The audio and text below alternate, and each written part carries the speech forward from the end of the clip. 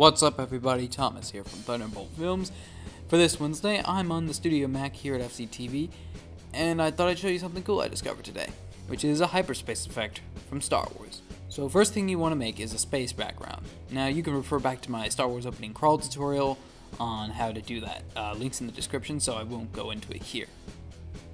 Then you want to add a radial blur, so which I, as you can see, I can already I already have. Uh, but you can just go search it up here.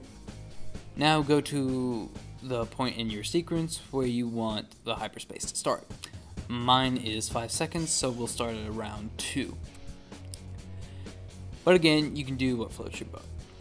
Hit the stopwatch on radial blur amount, then on fractal noise, hit the watch on scale and brightness. Then go to about halfway to the end from that keyframe point and raise them all up.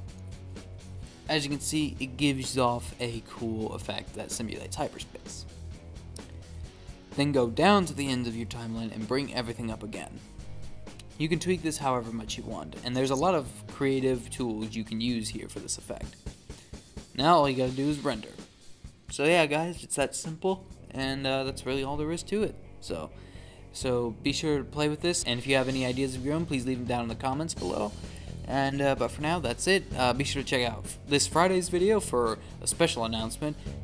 And follow me on Twitter, ThomasBolt1, like the Facebook page Thunderbolt Films, Instagram the Tombolt, and subscribe to this channel.